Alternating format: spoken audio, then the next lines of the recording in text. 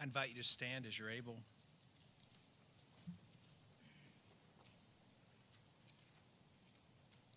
Blessed be the God and Father of our Lord Jesus Christ, the source of all mercy and the God of all consolation, who comforts us in our sorrows so that we can comfort others in their sorrows with the consolation we ourselves have received from God.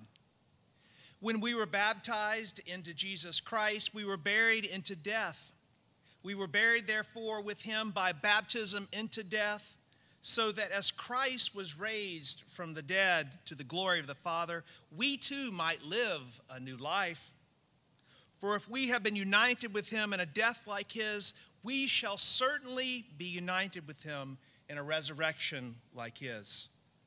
Let us pray.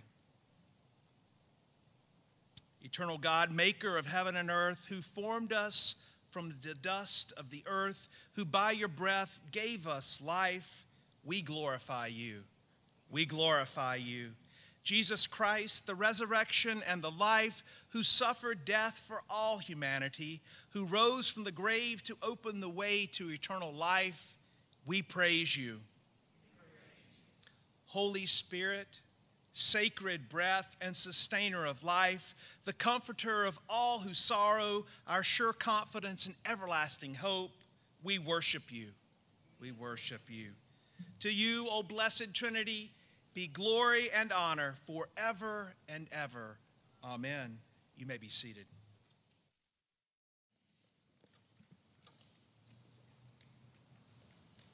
Mm-hmm.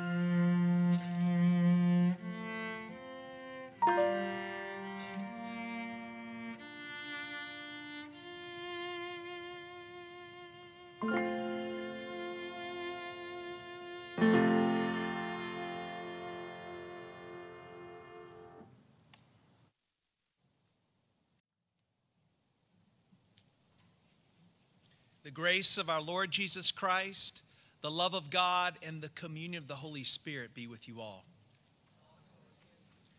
Let us pray. God of grace and glory, we remember before you today our sister Freda. We thank you for giving her to us to know and to love as a companion in our pilgrimage on earth. In your boundless compassion, console us who mourn. Give us faith to see that death has been swallowed up in the victory of our Lord Jesus Christ, so that we may live in confidence and hope until by your call we are gathered to our heavenly home in the company of all the saints. Through Jesus Christ, our Savior and Lord. Amen. And now we open our hearts to hear the reading of Holy Scripture.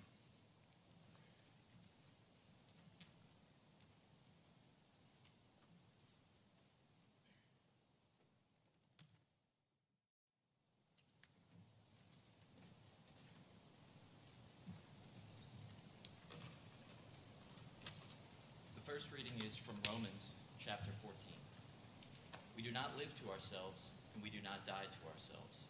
If we live, we live to the Lord, and if we die, we die to the Lord. So then, whether we live or whether we die, we are the Lord's. For to this end Christ died and lived again, so that he might be the Lord of both the living, of the dead and the living. This is the word of the Lord.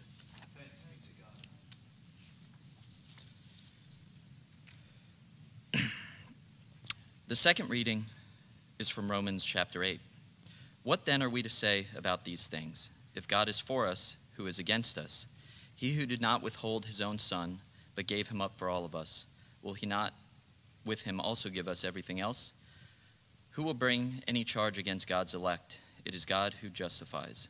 Who is to condemn? It is Christ Jesus who died, yes, who was raised, who is at the right hand of God, who indeed intercedes for us. Who will separate us from the love of Christ? Will hardship or distress or persecution or famine or nakedness or peril or sword? As it is written, For your sake we are being killed all day long. We are accounted as sheep to be slaughtered.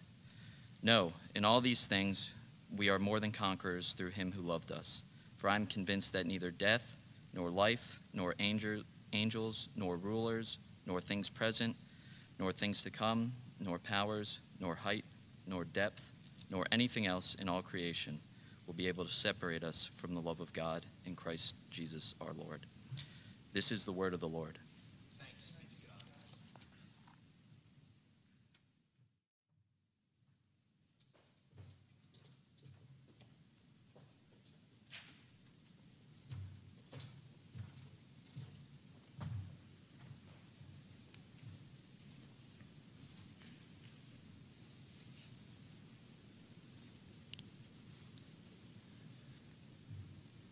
The third reading is from the Gospel of Matthew, chapter 6. Therefore, I tell you, do not worry about your life, what you will eat or what you will drink, or about your body, what you will wear. Is not life more than food, and the body more than clothing? Look at the birds of the air they neither sow nor reap nor gather into barn. And yet your heavenly Father feeds them.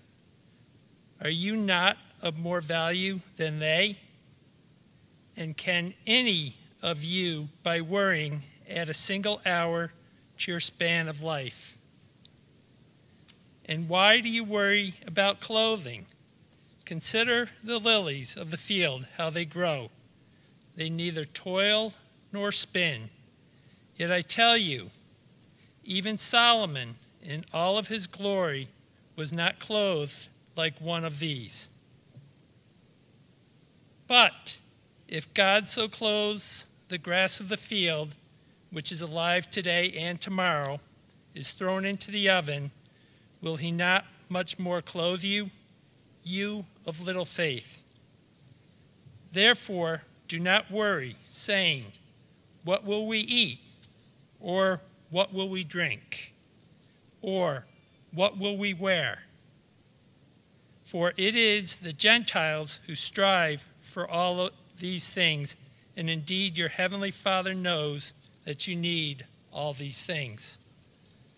But strive first for the kingdom of God and his righteousness, and all these things will be given to you as well. So do not worry about tomorrow, for tomorrow will bring worries of its own. Today's trouble is enough for today. This is the gospel of the Lord. Thanks be to God.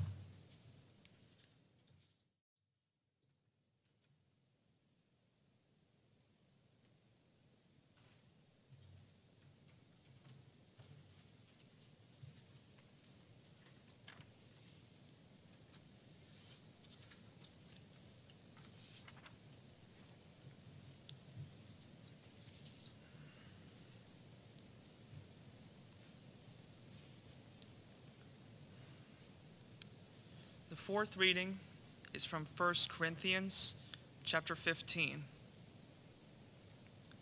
Listen, I will tell you a mystery. We will not all die, but we will all be changed in a moment, in the twinkling of an eye, at the last trumpet. For the trumpet will sound, and the dead will be raised imperishable, and we will be changed. For this perishable body must put on imperishability, and this mortal body must put on immortality. When this perishable body puts on imperishability, and this mortal body puts on immortality, then the saying that is written will be fulfilled Death has been swallowed up in victory. Where, O death, is your victory? Where, O death, is your sting? The sting of death is sin, and the power of sin is the law. But thanks be to God, who gives us the victory through our Lord Jesus Christ. Therefore, my beloved, be steadfast, immovable, always excelling in the work of the Lord, because you know that in the Lord your labor is not in vain. This is the word of the Lord.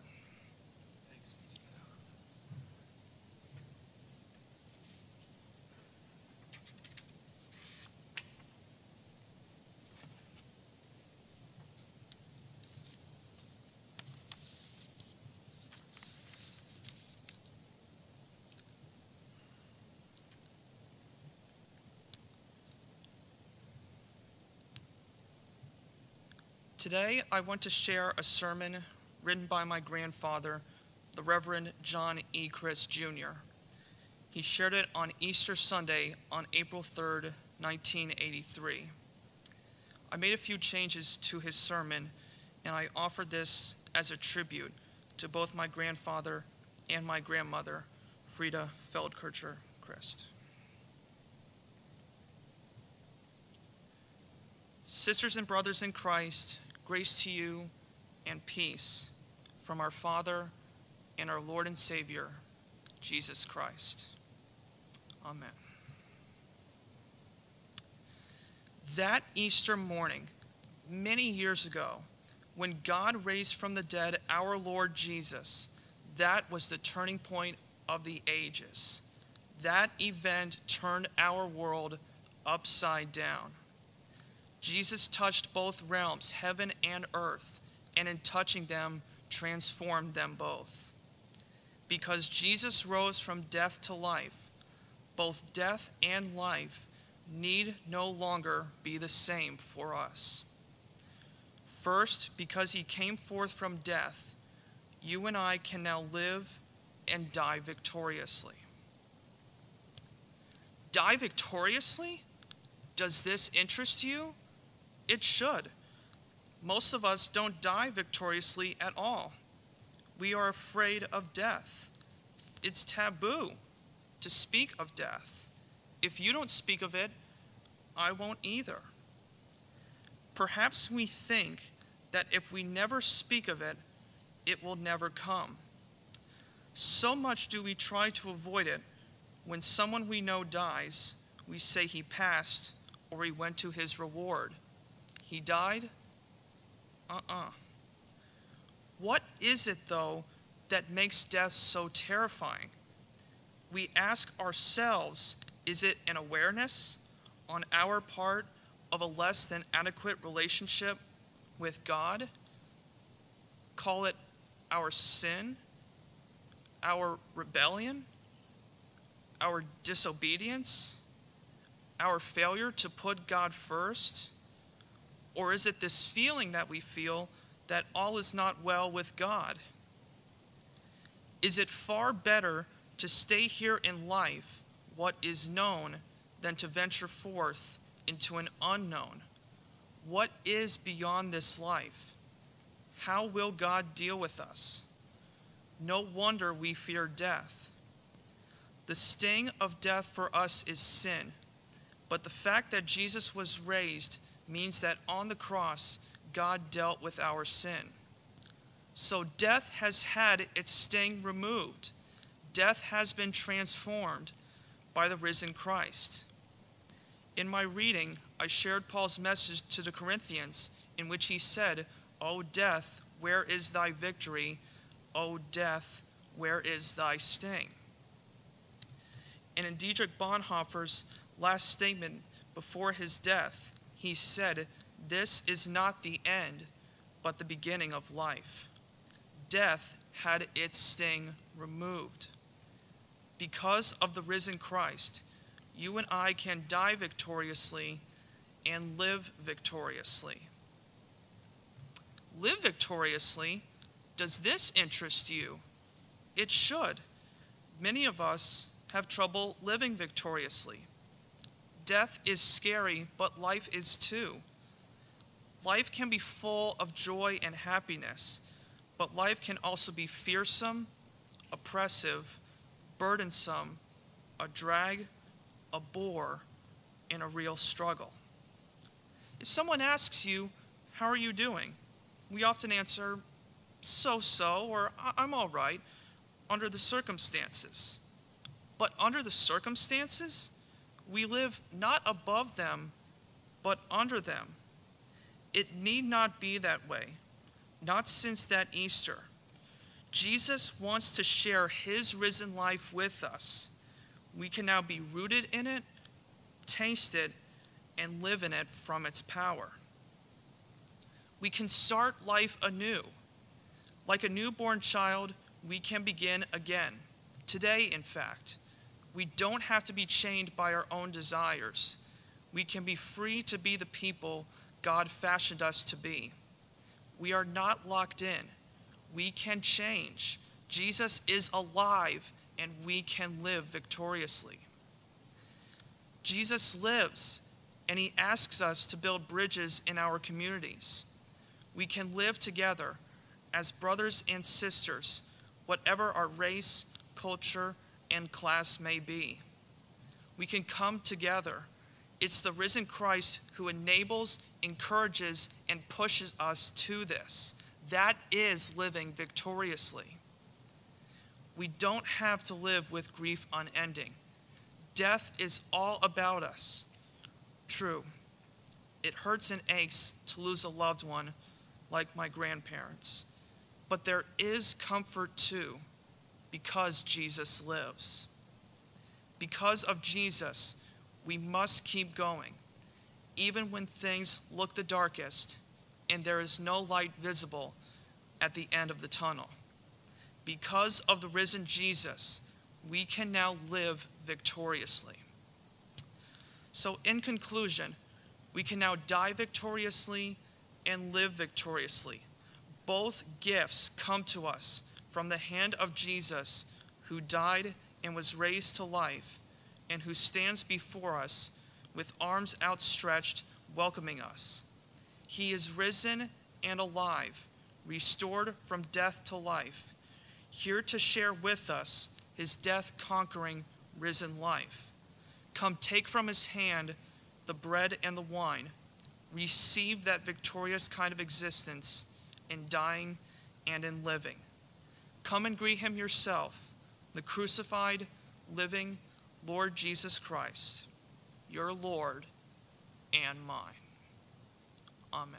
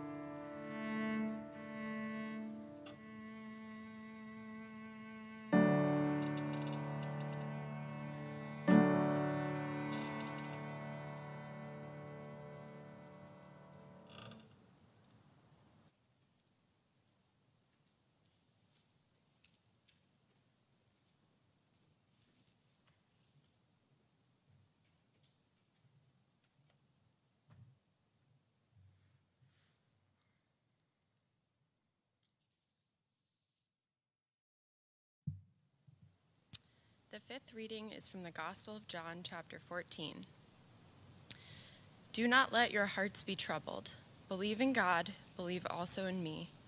In my Father's house there are many dwelling places. If it were not so, would I have told you that I go to prepare a place for you? And if I go and prepare a place for you, I will come again and will take you to myself, so that where I am, there you may be also and you know the way to the place where I'm going. Thomas said to him, Lord, we do not know where you are going. How can we know the way? Jesus said to him, I am the way, and the truth, and the life.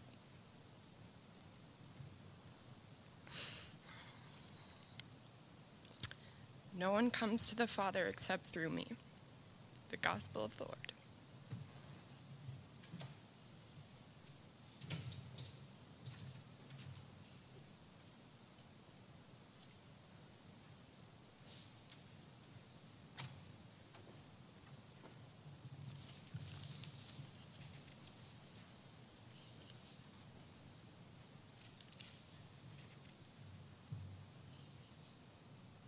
Freda shared being the youngest of five with her twin sister, Rita.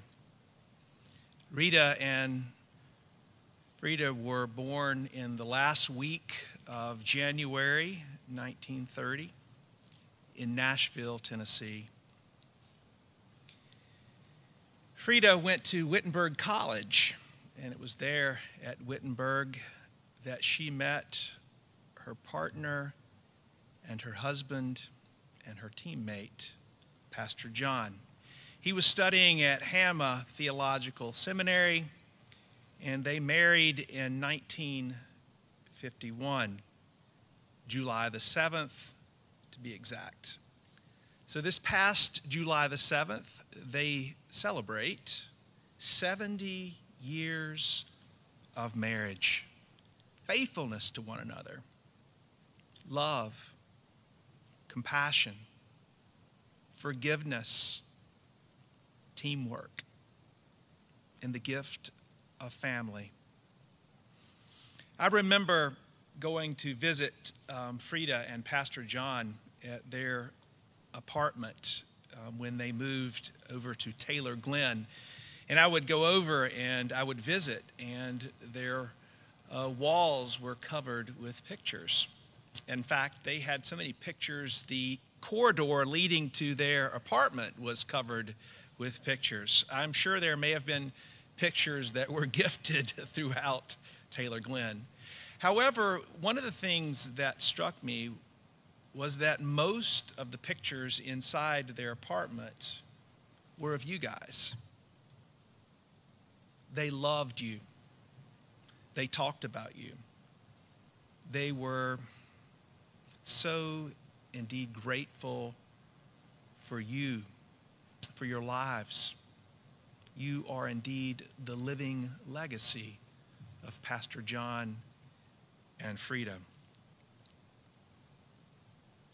I was thinking this morning um, that uh, that Freda, we had kind of an inside joke, uh, Annette and I did about uh, Freda, because Freda whenever hymns were played and sung, she wanted every single verse included. So if you open up uh, the Lutheran Book of Worship or the new one, the ELW, for all the saints, there's like, I don't know, 60 verses for all the saints. And she wanted all 60 verses. I don't think there's 60 verses, I think there's probably eight. So, yeah. But she wanted all eight sung. She wanted them sung robustly. Freda loved to sing. She loved to sing. And so when we gathered this morning um, and I was listening to Jennifer and Annette rehearse, I was like, you know, this is going to be different not being able to sing. But as I sat here, I felt the music kind of wash over me in a way that I was not expecting. Many of Freda's favorite hymns that are included in this memorial service are, of course, uh, some of mine. Um, Come Thou Fount, and It Is Well. And I'm sure some of yours as well, knowing your grandmother and your mother and your aunt.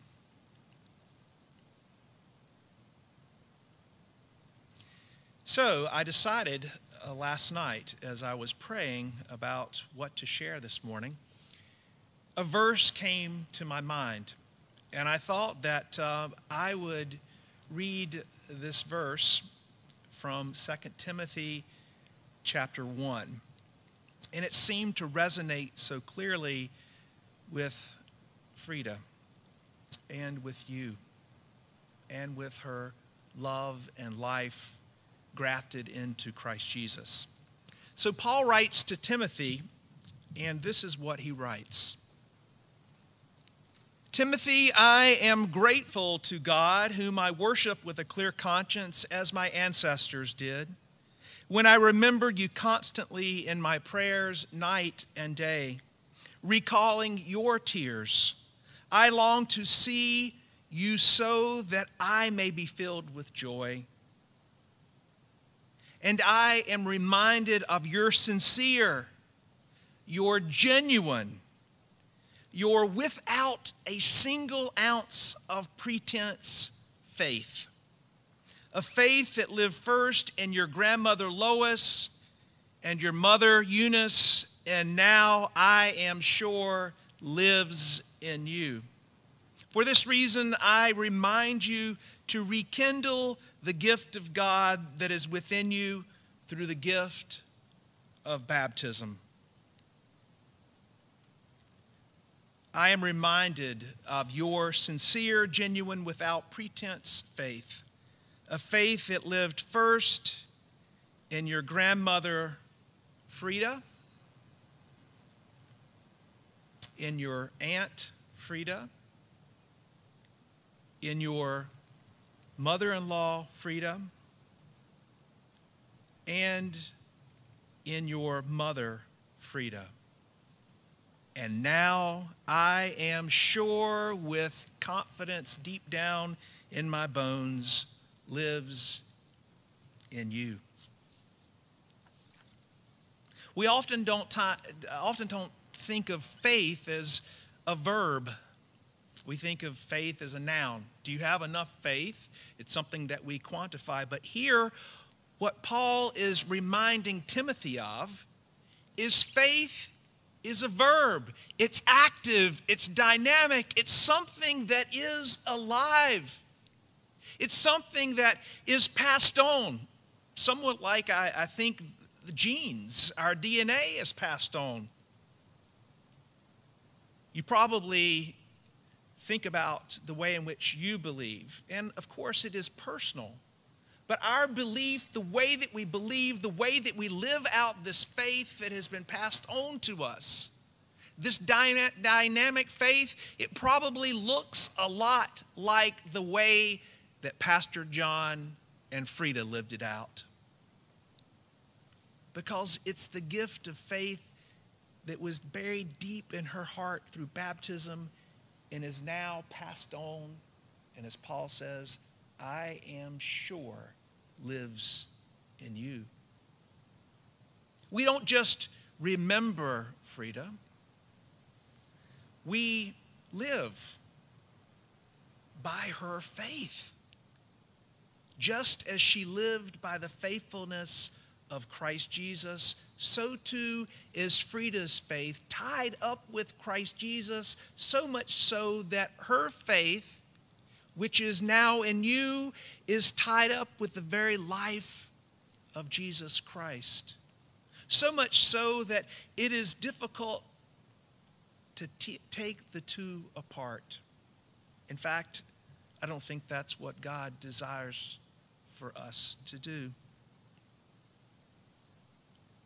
faith is indeed passed on,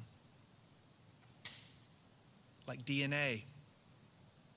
It's passed on as we watch our parents live out their faith.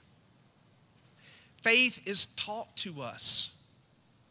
Faith is given to us as we go out into the world and watch as our parents, the ones who embody for us, the ones who imprint on us the very life of God from the moment in which we take our first breath, we see how they live out their faith. There was a picture that was uh, shown at uh, Pastor John's funeral. And it's a picture of Pastor John, and there in his hand, clasped in his hand, is John's hand. Little John with his dad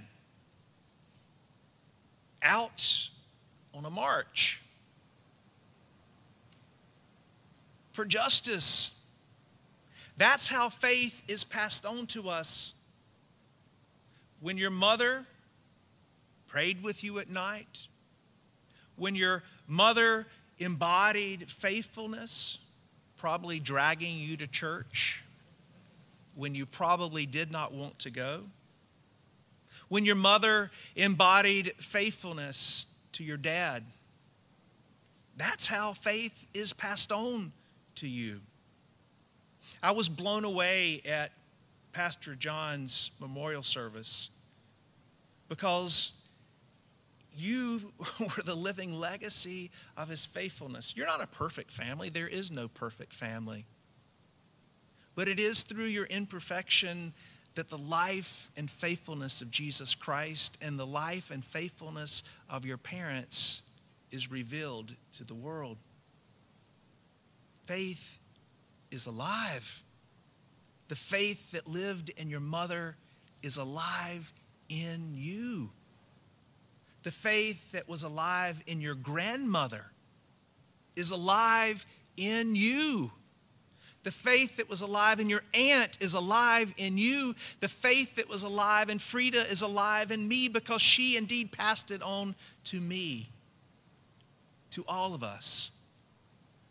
We are legacies of her faithfulness just as much as we are legacies of the faithfulness of Christ Jesus. Luther, Martin Luther writes that faith is a divine work in us. And I love this. Listen to this. Faith is a divine work in us. Oh, Luther says, it is a living, busy, active, mighty thing, this faith. Faith is not a noun, it's a verb. It's a living, busy, active, mighty thing, this faith. And the way in which you live your faith out is not only remembrance of your grandmother and your mother and your aunt, it's a living embodiment of her life, too.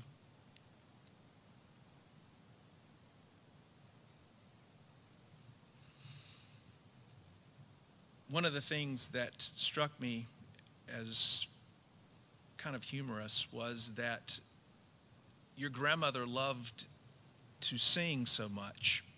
Your mother loved to sing so much that she wanted you to sing at your father's and your grandfather's funeral. I know there was some hesitancy, but she was like, This is what we're going to do, as if the Chris were the Von Trapp family.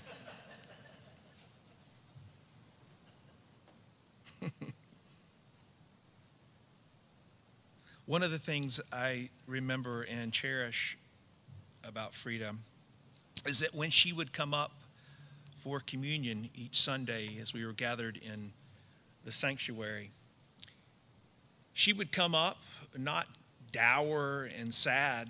She would come up singing. I don't know if you remember that. She would come up singing. She would be singing the hymn whatever communion or distribution hymn we had, she would come up singing that. And there beside her was Pastor John. And Freda would hold out her hands. And I remember she didn't really stop singing until she received the bread. And I'm sure she was humming as she chewed the body of our Lord Jesus Christ. There's something very powerful about that image of your mother and your grandmother singing, singing as she came up to receive the very life, the body and blood of our Lord and Savior Jesus Christ.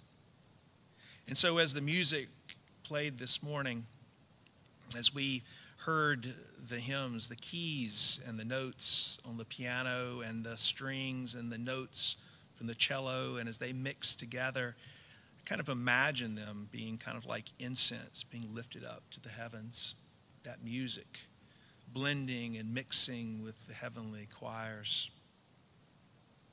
I could hear Pastor John's voice in the reading of his sermon today, but I could also hear your voice too. I could hear Pastor John's faithfulness in the sermon this morning, but I could also hear yours. I can see Freda's faith lived out life this morning as you are gathered here. But I can also see Freda's faith filled life lived out in each of you. So we may not be able to sing all verses or any verses today, or every single stanza of all the hymns that are in this bulletin. Or we, I know we were not able to put every single hymn that Freda had that she wanted in her funeral bulletin because we would be here for several days.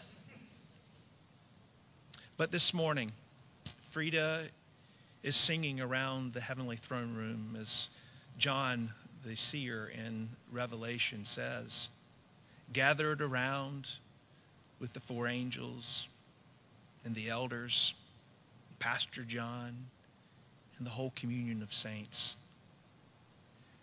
And heaven and earth, as Pastor John's sermon said, have indeed been brought together as we worship, as we gather here this morning. And so it's with our words and the songs that we're probably humming in our head that the two merge. And this becomes a place indeed where heaven and earth meet.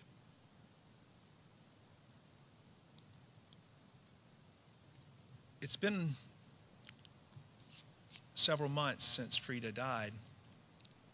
And I know that you wanted to make sure as much family as could be here as possible.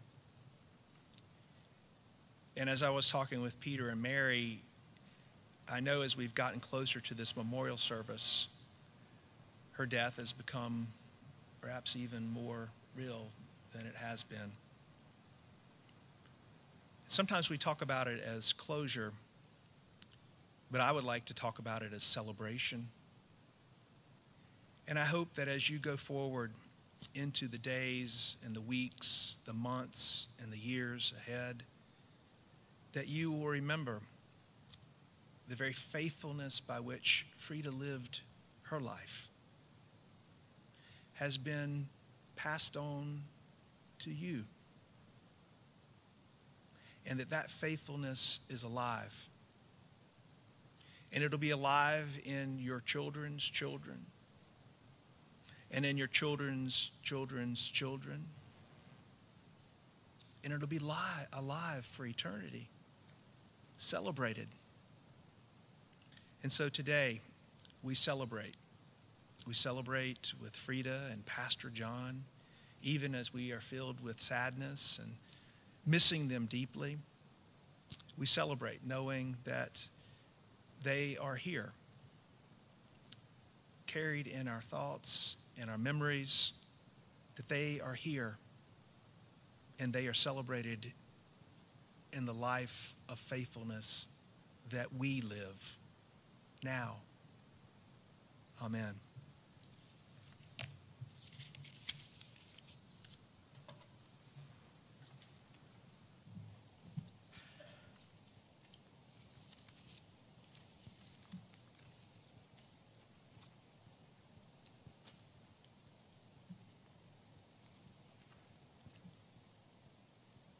Let us pray.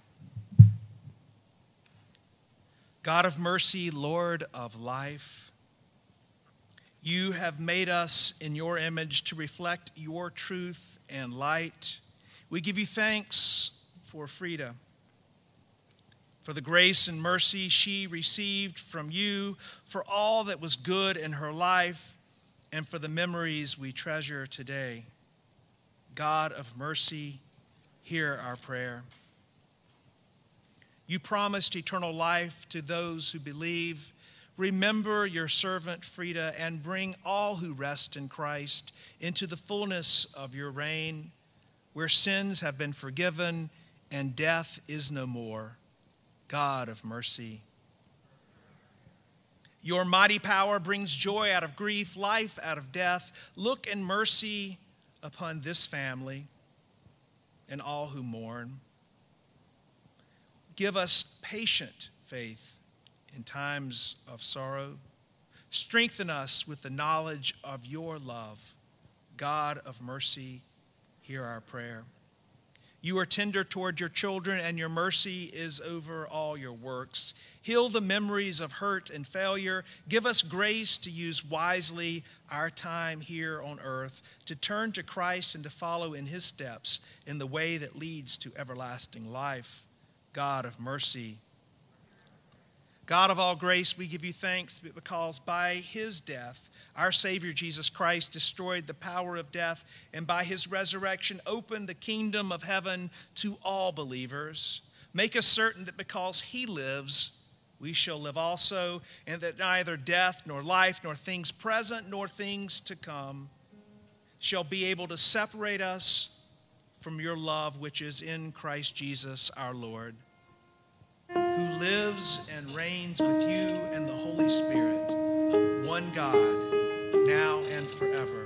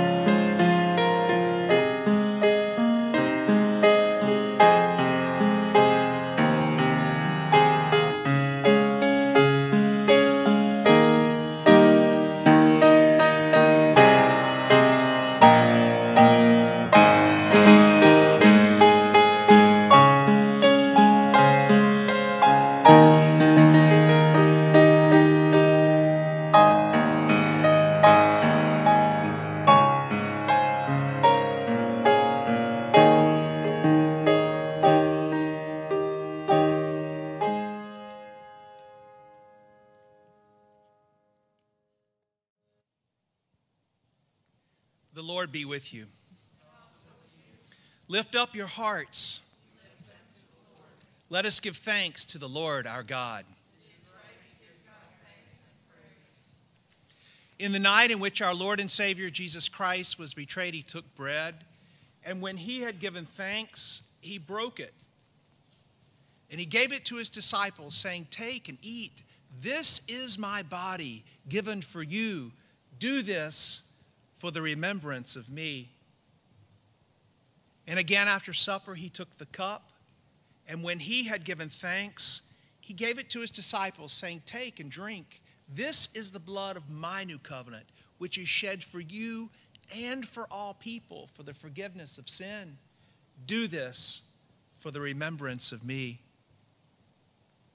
And with those first disciples, our Lord teaches us to pray as we say together Our Father, who art in heaven, hallowed be thy name. Thy kingdom come, thy will be done, on earth as it is in heaven. Give us this day our daily bread, and forgive us our trespasses as we forgive those who trespass against us. And lead us not into temptation, but deliver us from evil. For thine is the kingdom, and the power, and the glory, forever and ever. Amen. So um, I invite you to open up the top. There's a small cellophane piece, and you will see the wafer. This is the body of Christ given for you. Amen.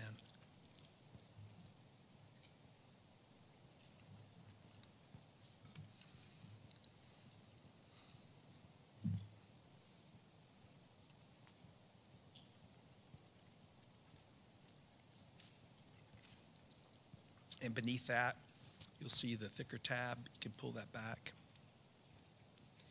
And this is the blood of Christ shed for you. Amen.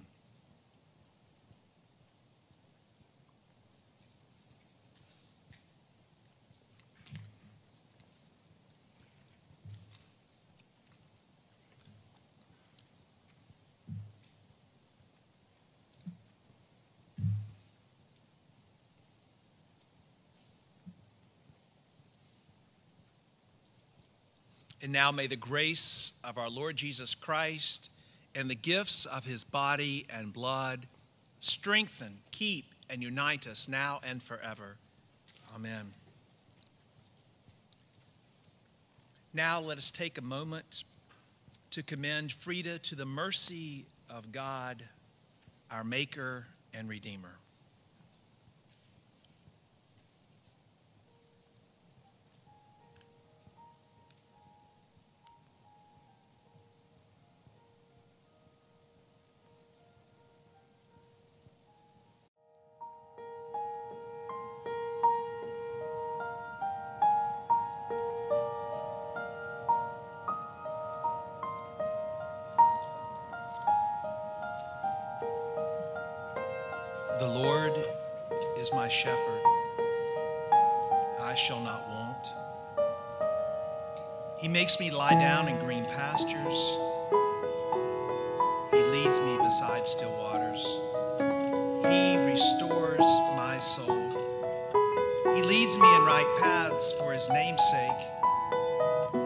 Even though I walk through the darkest valley, I fear no evil, for you are with me Your rod and your staff, they comfort me. You prepare a table before me in the presence of my enemies. You anoint my head with oil. My cup overflows. Surely goodness and mercy shall follow me all the days of my life, and I shall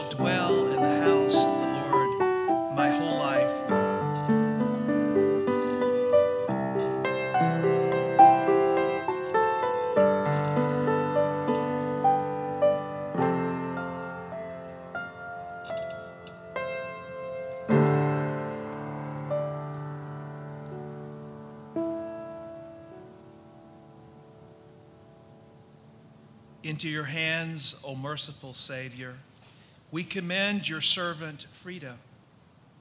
Acknowledge, we humbly beseech you, a sheep of your own fold, a lamb of your own flock, a sinner of your own redeeming. Receive her into the arms of your mercy, into the blessed rest of everlasting peace, and into the glorious company of the saints in light. Amen. You may be seated.